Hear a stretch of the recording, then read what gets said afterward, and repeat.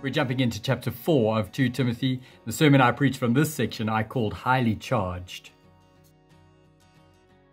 Now, Paul has been saying some really big things to Timothy, calling him to finish the work of proclaiming Christ as he continues in the truth, even in the face of suffering, all in the view of the life to come. And he pulls many of those ideas together in this section. And this section is loaded with imperatives uh, verbs that are commands, calling Timothy to do a number of very important things. And that's why I called this section highly charged, because it all revolves around this key uh, charge that Paul gives. If you've missed the videos that we've seen so far in this book of 2 Timothy, I encourage you to go and watch those videos first to help you to understand how we've got to this point in this important book. As always, I encourage you to take some time to just read the passage a number of times yourself. One of the most important tools in preparing uh, to teach God's Word is to read and reread so that you can get a, a clear idea of why this section was originally written. And through the whole process, take time to pray, to ask God to help you to understand His Word of truth so that you can indeed teach it well to others. As I said, this section is loaded with imperatives and they show why it is such a highly charged section. So, our first important imperative is here in verse 2. So, an imperative is a verb that is a command, and this imperative, preach the word, governs all the other imperatives that we see in this section. And as we'll see, there are nine imperatives in total in this section. Here are the other ones.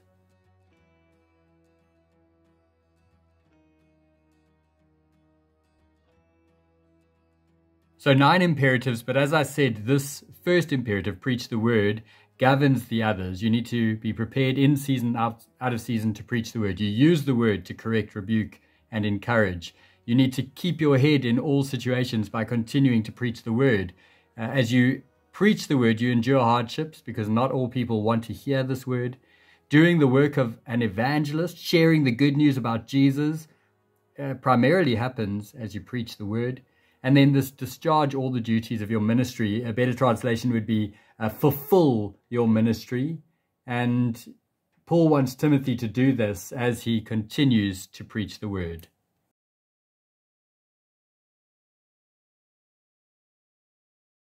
So, just a clearer way of translating discharge all the duties of your ministry is just saying finish your work. So, continue with this work of preaching the word right until the end. Don't give up on it. Now, structurally, we see a couple of very important things in this section. Uh, Paul introduces uh, this idea of Christ who will judge, and then right at the end, he speaks about the righteous judge. So far, he's spoken throughout his letters about Christ Jesus who came into the world to save sinners. So he's spoken of Jesus as the Savior. Now he brings in the idea of Jesus who will judge the living and the dead. And the important thing that we see here is that uh, this word of Jesus is the only thing that can prepare people to meet Jesus as Savior before they meet Him as Judge.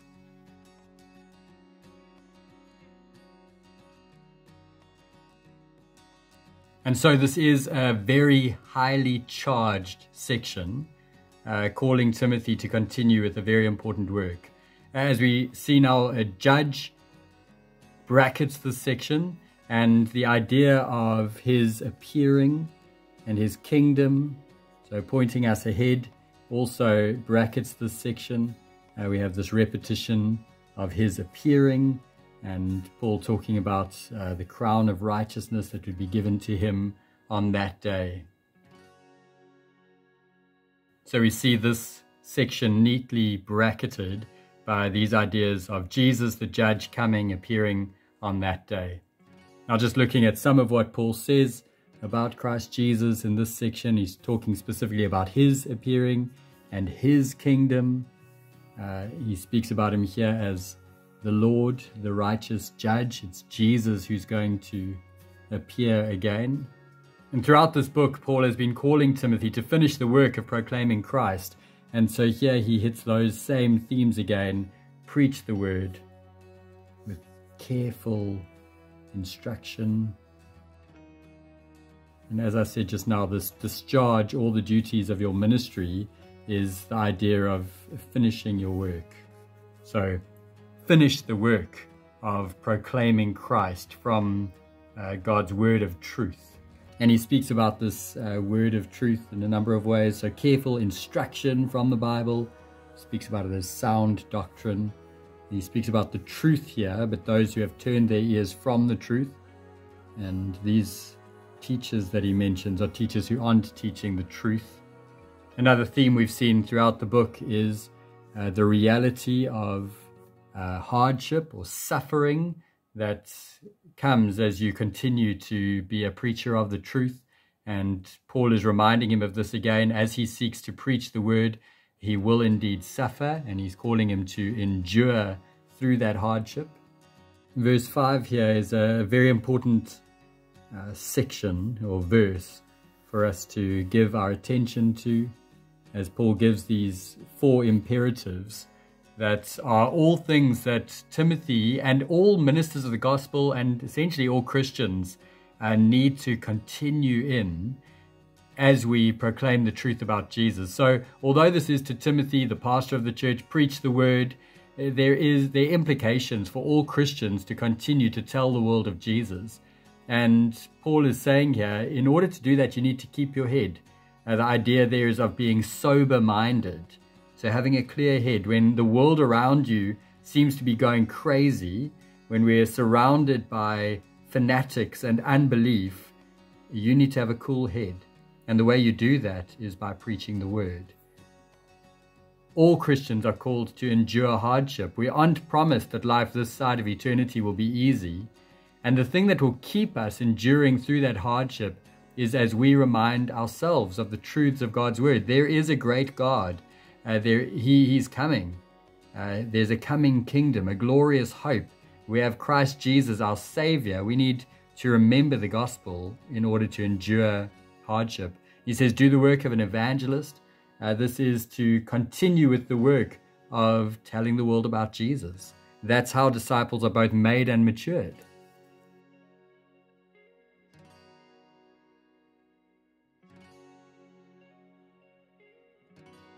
And then the final imperative here discharge all the duties of your ministry. So finish your work.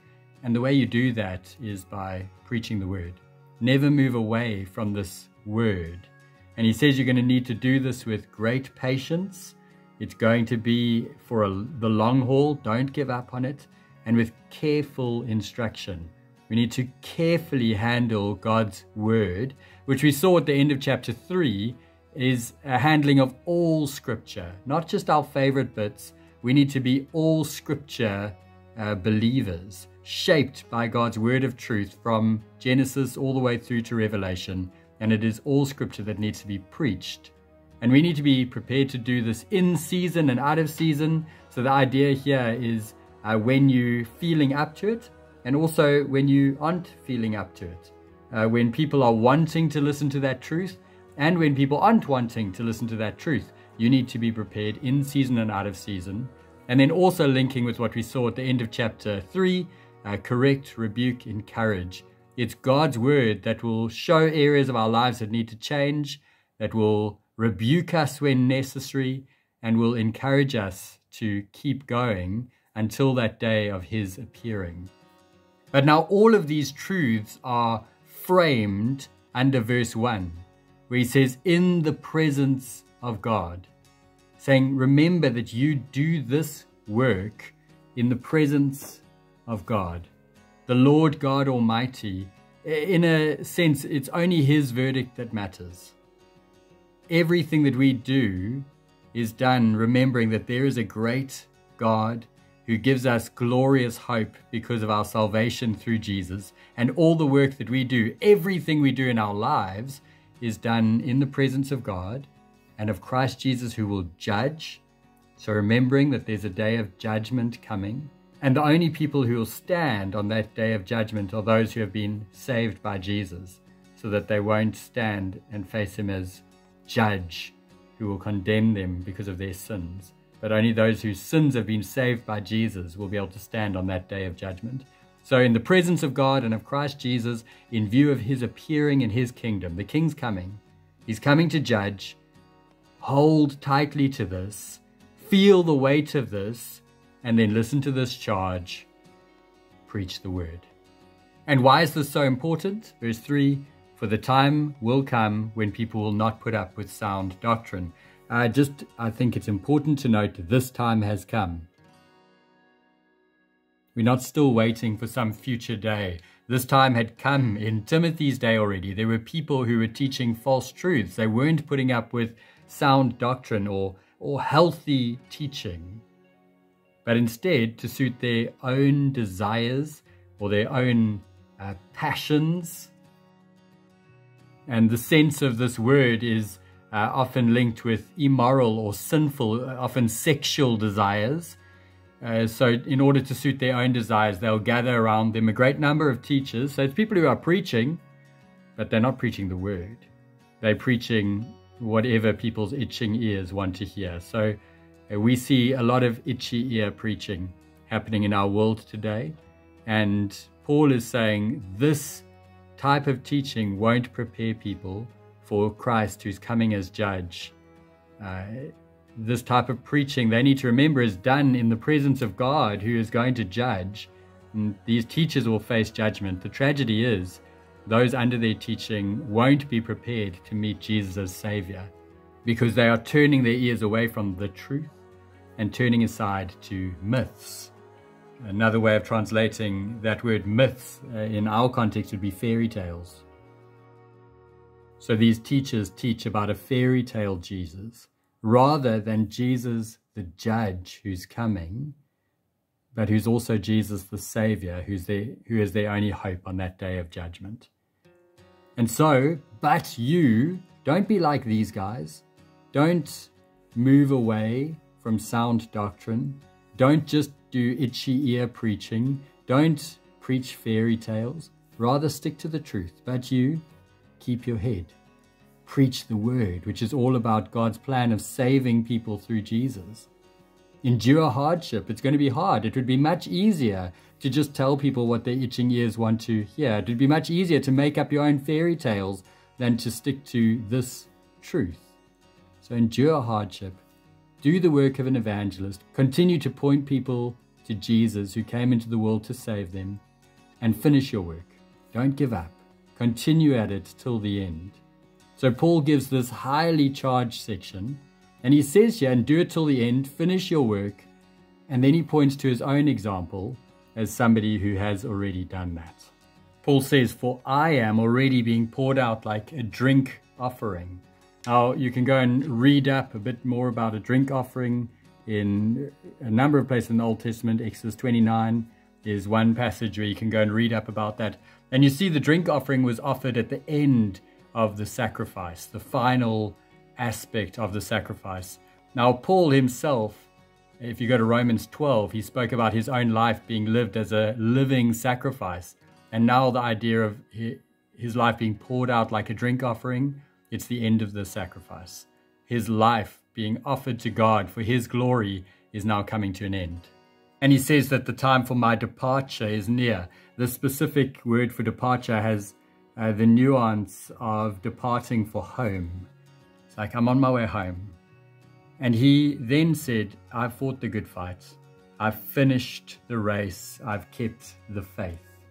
If you go and look uh, back to chapter 2 again, in chapter 2 from verse 4, we see Paul speaking about uh, calling Timothy to suffer for the gospel like a good soldier, like an athlete, like a hardworking farmer.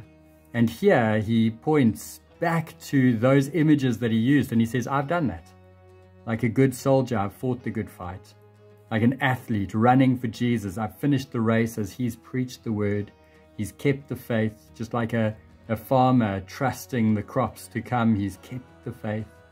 And then he says, And now is in store for me the crown of righteousness, which the Lord, the righteous judge, will award to me on that day. So he knows he's heading home and he's going to face the Lord, the righteous judge, but he's he knows that he's going to receive this crown of righteousness. He's not going to stand before that judge uh, with dread, but with great joy, because Christ Jesus came into the world to save a sinner like him, and he was now going to meet Christ Jesus and be with him forever. And he says this isn't only true, this crown of righteousness isn't only coming uh, to people like him, but to everyone, all who have longed for his appearing, all those who have waited for that day when Jesus is going to return to make all things new. He's saying, they'll all receive the crown of righteousness. And so he's calling Timothy in this big section to continue with this work. I charge you in the presence of God and of Christ Jesus. Feel the weight of this. He's coming, his kingdom's coming. Feel the weight of this. I charge you, preach the word. And do this right till the end. Finish the work. It's not always going to be easy, but finish the work. Preach the word. Keep your head Keep telling people about King Jesus who came into the world to save sinners, because only this word about Jesus can prepare people to be ready to meet Jesus as Savior before they meet him as judge. And so just like Timothy, we need to be looking for teachers in the church who will continue to preach the word and will prepare those in their church to continue in this truth as they finish the work that God has prepared for them as they wait for that day when they'll receive the crown of righteousness, which has been secured by Jesus for all those who have loved him and longed for the day that he appears. It really is an incredible section to dig into, so rejoice in the truths that are revealed here, the truths about a judge whose kingdom is coming, he's going to appear, who we have the privilege of standing before without fear if we've been saved by Christ Jesus and we need the world to know about him. So continue to preach the word. Point people to Jesus so that they will be ready to meet him as Savior before they meet him as Judge. Well, God bless as you dig in further.